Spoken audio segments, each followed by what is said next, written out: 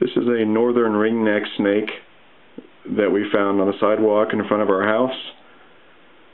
And he's a pretty cute little guy and completely harmless. So I just wanted to take a quick video of him before I let him back outside.